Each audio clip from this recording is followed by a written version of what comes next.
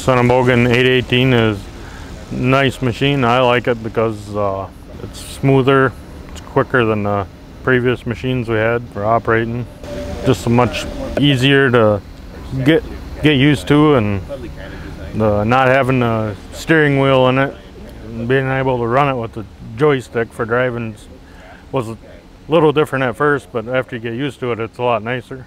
Uh, main job that I do with this is unloading, uh, unloading the ties and packaging them, and get them shipped out.